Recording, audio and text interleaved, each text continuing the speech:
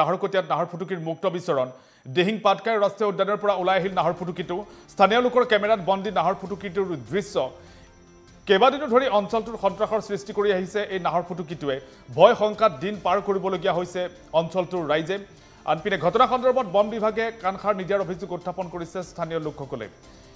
এইসমূহ দৃশ্য নাহৰকটীয়াত দেখিবলৈ পোৱা গৈছে। নাহৰকটীয়াত এনেদৰে নাহৰ ফুটুকীয়ে মুক্ত বিচৰণ কৰিছে। দিহিং পাটকাই ৰাষ্ট্ৰীয় উদ্যানৰ পৰা ওলাই আহিল এই নাহৰ ফুটুকীটো।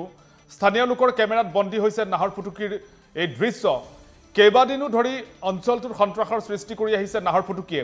ভয় সংখ্যাত দিন পাৰ কৰিবলগীয়া হৈছে অঞ্চলটোৰ ৰাইজে। আনপিনে ঘটনা সন্দৰ্ভত বন বিভাগে কাণসাৰ নিদিয়াৰ অভিযোগ উত্থাপন কৰিছে অঞ্চলটোৰ লোকসকলে।